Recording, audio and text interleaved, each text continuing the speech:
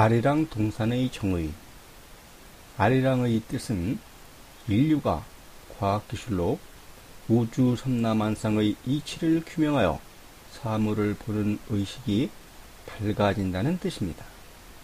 그러므로 아리랑 동산은 과학적 깨달음으로 인도하는 동산입니다.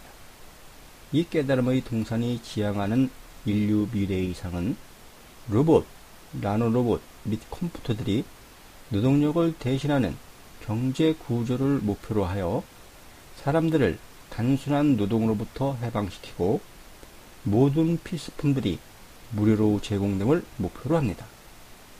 모든 생산품, 장비, 서비스 및 자원들은 단 한 명의 인간조차 개입하지 않더라도 효율적으로 이루어질 수 있으며 이들은 모두 국유화합니다.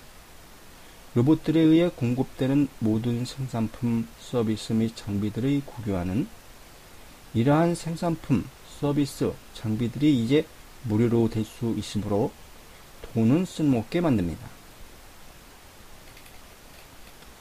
공산주의는 무산 계급의 존재 자체가 비효율을 만들어냈기 때문에 실패했습니다.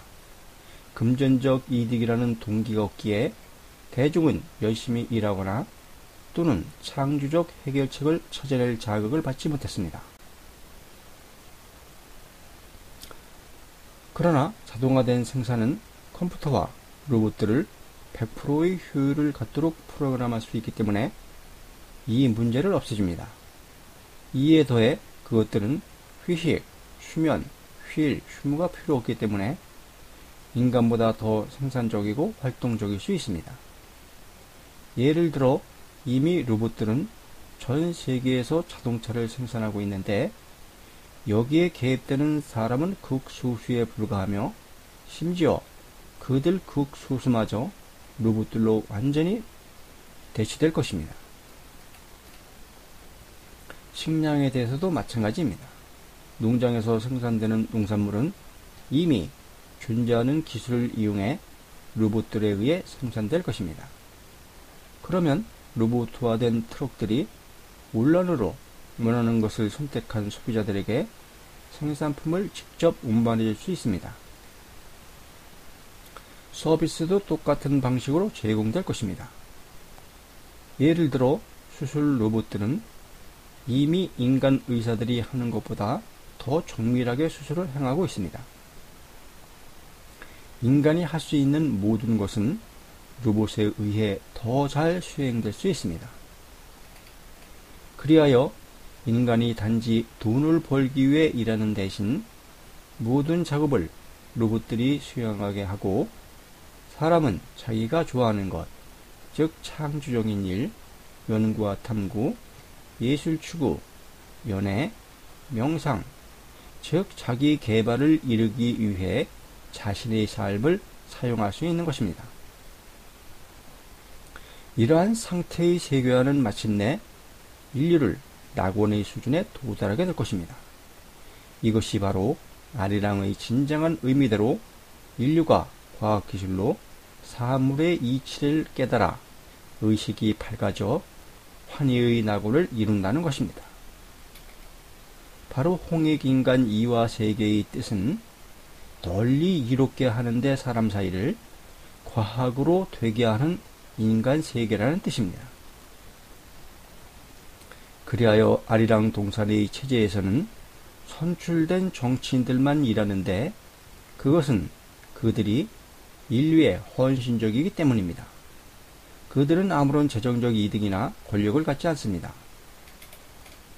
아리랑 동산은 모든 것이 모든 사람들에게 무료로 제공되는 화폐가 존재하지 않는 과학기술 사회의 이점을 이해하고 아리랑 동산 역사가 예정된 창조주의 역사라는 것을 알아보는 의식적인 사람들이 지지를 받아 정치적으로 아리랑 동산의 부지가 제공되고 시외 복권지역으로 지정될 것이며 보호될 것입니다.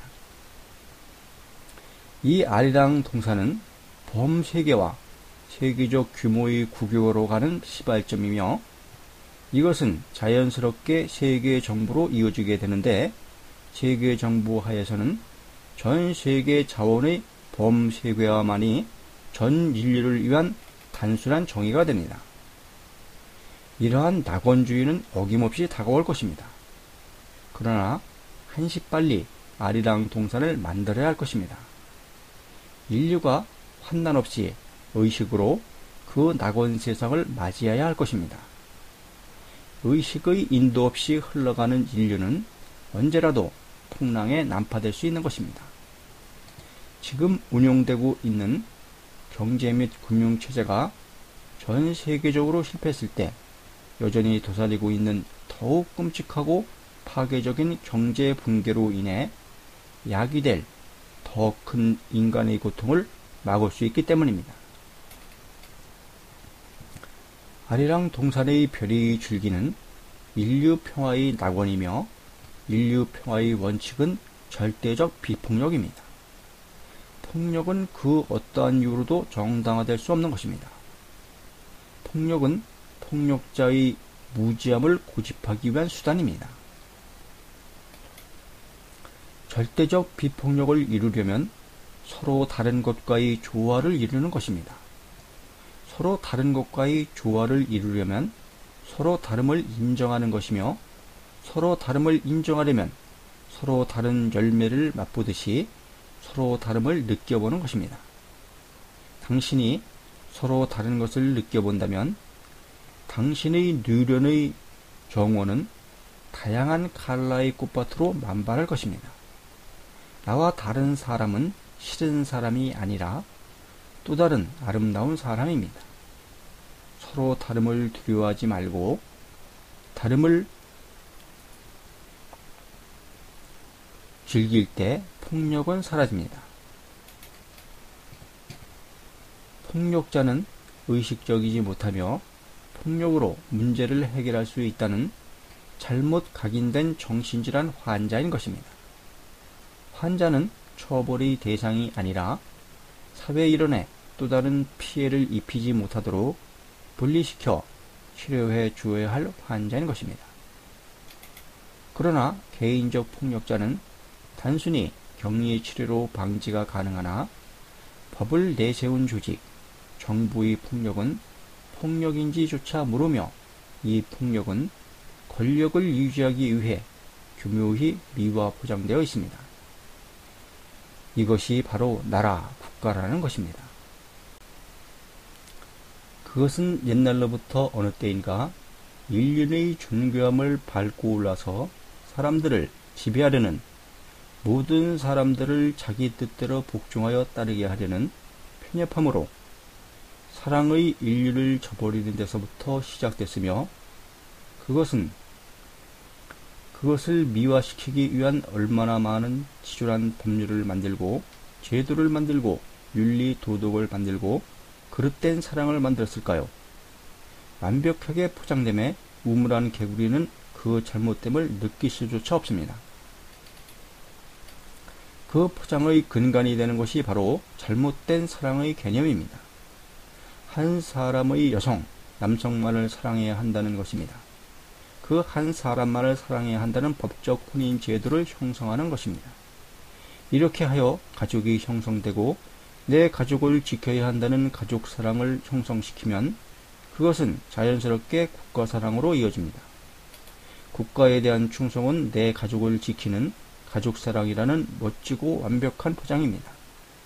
그래서 권력자가 권력을 유지하기에 가장 좋은 방법이기에 권력을 형성한 모든 것이 가족 제도를 이루고 있는 것입니다.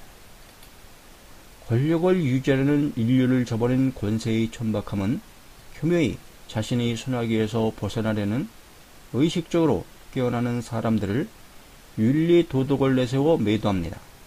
혼의 정사는 불륜이다. 도덕적이지 못하다. 짐승만도 못하다. 짐승 같은 연년들이라고 욕하며 이에 옳다고 동조하는 사람들의 심성은 이기심으로 가득 찬 시기 질투심의 독설임을 알아야 할 것입니다. 다른 사람들이 행복해하는 모습을 보고 불쾌한 심기가 일어난다는 것은 자신의 심성이 얼마나 시기 질투심의 이기심으로 천박한가를 알아야 할 것입니다. 더욱더 이해를 돕고자 설명하면 사랑이란 사랑하는 사람의 행복을 위해 아낌없이 모든 것을 주는 것입니다. 소유하지 않는 것이죠. 당신이 사랑하는 연인이 다른 사람과 함께 있어 행복해 한다면 당신은 그를 기뻐해 주어야 하는 것입니다. 내가 사랑하는 사람이 기쁨을 느끼고 행복해 하는데 왜 시기 질투심이 일어나나요? 그것은 사회의 윤리, 도덕, 풍속의 잣대가 시기 질투가 마치 사랑인 양 왜곡하고 있기 때문입니다. 사회의 윤리, 도덕은 은연중에 그렇게 당신을 어둡게 만들고 있는 것입니다. 치정범이 용서되고 죄가 가볍다는 것이 그 한 예입니다. 그리고 다른 사람과 함께 행복해하는 당신을 보고 기뻐해주는 당신을 사랑하는 사람이 있다면 당신은 그 사람의 행복인 자신을 주어 그를 기쁘게 해 주어야 하는 것입니다. 그럼 그들도 당신의 행복을 기뻐해 줄 것입니다. 한 사람만을 향한 지주는 순결한 것이 아닌 근본을 모르는 어리석음의 발로입니다. 다양성의 풍부함이 활력으로 건강하고 즐겁고 행복한 것입니다. 인간은 다양성의 풍부함을 느끼게 창조되어 있습니다. 이렇게 타인의 행복을 위해 자신을 주는 사랑이야말로 진정한 사랑인 것입니다.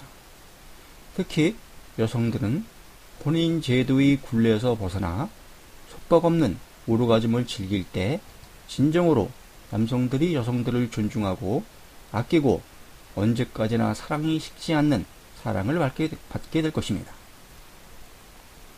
이것은 여성들의 위대한 혁명으로서 폭력성을 조장하는 권력력의 무리들로부터 이용당하지 않게 남성들을 편안하게 낙원의 침대여서 놀게 하는 것입니다. 즐겁고 행복한 남성들은 폭력적이지 않습니다. 현재에서 미래로 이어지는 이 멋진 과학의 세상에는 부드럽고 조화로운 여성성이 세상을 꽃밭으로 가꿀 수 있습니다.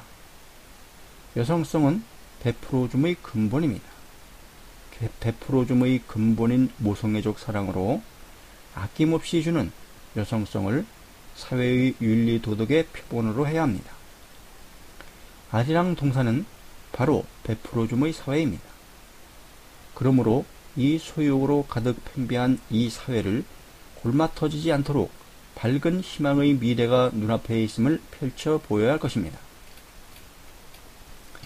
의식의 눈으로 비춰볼 수 없는 어둠의 한 줄기 빛으로 피어나는 아리랑 동사는 어둠에서 밝게 볼 수 있는 빛이 되는 것입니다. 햇불이 하나 둘 모여 불꽃으로 피어나 온 세상을 고요하게 비추는 월광으로 뜨는 아리랑 동산이 되는 것입니다. 아리랑 동산은 베풀무의 결정체입니다. 소유하지 않으면 안 되는 현 사회 구조에서 거듭나 소유하지 않아도 불어나지 않게 복지가 보장되는 자발적으로 베푸는 복지사회로 가는 시추지가 되는 것입니다. 남북한이 아리랑 동산 부지를 베풀어 한반도의 분란을 막고 아리랑 동산에 베푸는 어진 사람들의 베풀미 온 세상 사람들에게 복지로 돌아가는 세계 일가족 사회로 구현되는 것입니다. 우리 인류는 아주 가까운 미래에 과학의 총화로 이루는 완전한 복지를 이룰 수 있습니다. 그때까지 우리는 마음을 닦는 베풀음의 복지를 구현하여 사람과 사람 사이에 서로 서로 좋아하는 사랑으로 거듭나야 할 것입니다. 자발적으로 베푸는 어진 사람은 아낌없이 주는 사랑을 몸소 실천하는 사람입니다. 아리랑 동산에 베푸는 사람은 생명나무 심는 농부로서 그 열매는 18세의 육체로 늙지 않고 병들지 않고 살아서 영생하는 열매로 탐스럽게 익을 것입니다. 아리랑 동산이 가는 길은 인류를 창조하신 창조주께서 인류를 바른 길로 인도하고자 하는 계획이십니다.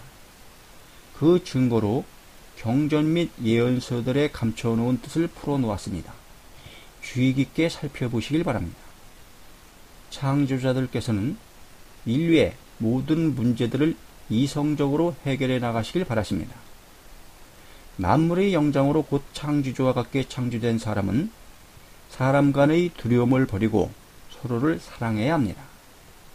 사람은 만물의 영장인 사람이기에 사람을 아끼고 좋아하고 사랑해야 하고 만 생명의 은혜를 베풀어 사랑해야 합니다. 사랑만이 인류를 낙원 사회로 만들 수 있습니다.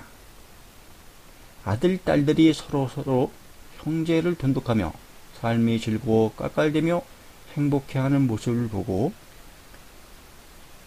부모님의 마음이 행복한 것은 당연한 것입니다. 땅의 모든 생명체를 짓고 사람을 인종에 따라 특색에 맞춰 다양한 아름다움을 부여하여 지었습니다.